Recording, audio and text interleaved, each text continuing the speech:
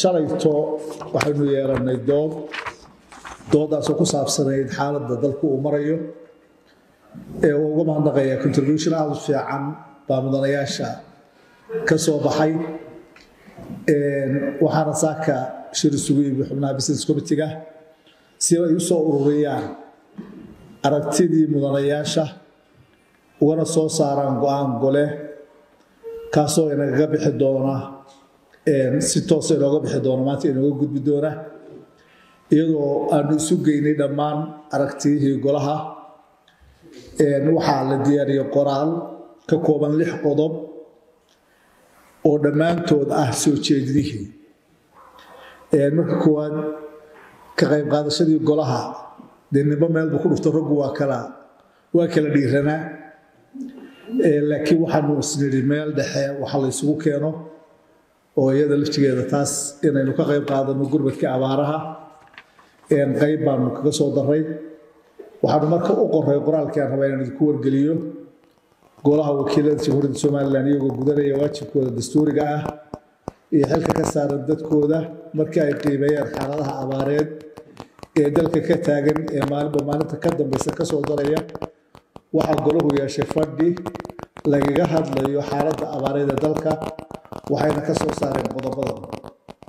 Qodobka koowaad golahu wuxuu wasaaradda diinta ee awqaafta u soo jeedinayaa inay farto imaamada masaajidada inay bilaabaan qunuud salaadaha faralka ah sidaas si la mid ah.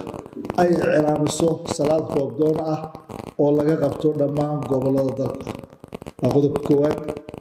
Qodobka labaad golahu wuxuu xukuumadda u soo jeedinayaa in la dardargeliyo howlaha gurmadka abaaraha lana sameeyo qiimeyn joogto ah hadba heerka abaartu marayso dhammaan gobollada dalka. Qodobka saddexaad golahu waxa uu ugu baaqayaa hay'adaha caalamiga ah bulshada caalamka iyo waddamada somalilan saaxiibka la ah inay gurmad degdega la soo gaadhaan bulshada somalilan ee ay saamaysay abaarta baahsan ee ku habsatay dhammaan gobollada dalka. Qodobka afraad golahu waxa uu ganacsatada somalilan iyo shirkadaha maalgashaday dalka ugu baaqayaa inay si laxaadle uga qayb qaataan gurmadka abaaraha sidii caadada u ahayd. Qodobka shanaad golahu wuxuu qorbajoogta somalilan ugu baaqayaa inay qabtaan inay qeybtooda ka qaataan gurmadka abaaraha hogaamiyaasha bulshada iyo wakiilada dibadduna doorkooda ay ka qaataan. Qodobka lixaad golahu wuxuu kaga qayb qaadanayaa gurmadka abaaraha qaadhaan dhan konton kun oo dollar oo u dhigantaa afar boqol iyo shan iyo labaatan milyan oo shilinka somalilan ah. Lixdaa qodob ayaa lagu soo ururiyey doodii aad shalay ka dhiibateen golaha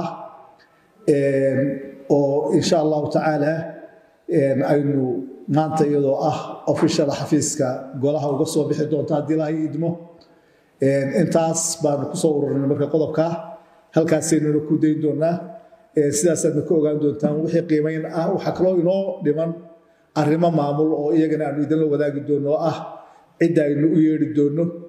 Cidda golahu wakiilan doono inay hawshaa kala shaqeeyaan xukuumadda oo howlo maamul oo iyagu aan ahayn inay halkan ku soo baxaan aan ahayn.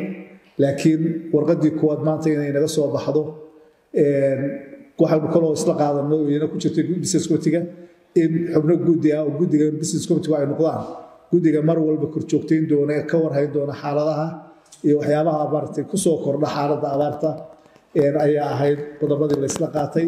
Marka mudanayaal runtii doodiinii oon idinka mahadnaqayo shalayto waqti badanna gelinay.